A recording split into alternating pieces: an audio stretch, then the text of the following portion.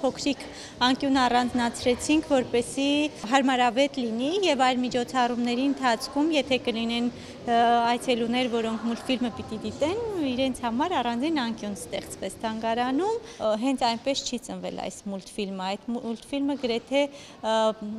հասունացած պահանջ պահանջ եղավ, որովհետև երբ որ մեր այցելուները լինում էին Մութուլու սրահում, դիտում էին Թումանյանի հեքիաթների հիման վրա ստեղծված մուլտֆիլմերը, շատ հաճախ նաև իրենք արձագանքում էին, թե բա Թումանյանի մասին ինչքան լավ կլիներ, որ այսպիսի մի բան լիներ։ Եվ մենք միջազգային փորձը ուսումնասիրեցինք եւ հասկացանք, որ աշխարհում սա շատ ընդունված ձևաչափ է, երբ որ մեծ մտավորականին, մեծ գրողին, նկարչին եւ այլն դու փորձում ես մատուցել երեխաներին հասկանալի լեզվով։ Մտածում եմ տղային ուղարկել Թիֆլիս, Ներսիսյան ջեմարը որոշվեց ոչ թե առանձին հատվածներով, այլ Թումանյանի կյանքի կարևոր շեշտադրումներով ծանոթացնել երեխաներին Թումանյանին նոր տեսքի մեջ, հա, անիմացիոն ձևաչափի մեջ։ Պատրաստման փուլում են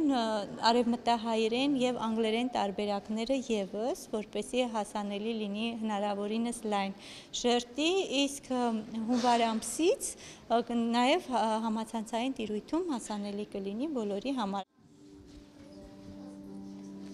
1869 թվականի փետրվարի 19-ին մի ցուրտ ձմեռային օր սարերի մեջ թաքնված Հայաստանի դսեղ գյուղում ծնվեց Տեր եւ Տիկին Թումանյանների Անդրանիկ զավակը Հովանեսը Սա դրեկը Հովանես Թումանյան մուլտիկը Թումանյանից ես սիրում եմ ձախորդ փանոսը Մուլտֆիլմում ես տեսա, որ Հովանես Թումանյանը զինվորի դերի մեջ էր։ Ես հիշում եմ, որ նա հիվանդանոց էր գնա, գնացել Թիվլիզում եւ նա մահացավ, իսկ նրա տղա, տղաներից մեկը նրա սիրտը վերցրեց եւ թաղեց ինֆորմ Վրաստանի նրա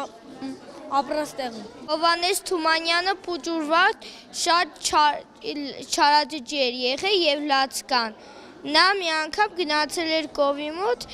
նա կովը նրան խփեց, նա անկավ եւ լացեց։ Թումանյանը 4-րդ դասարանից դպրոցը թողեց եւ սկսեց մենակ գրքեր կարդալ։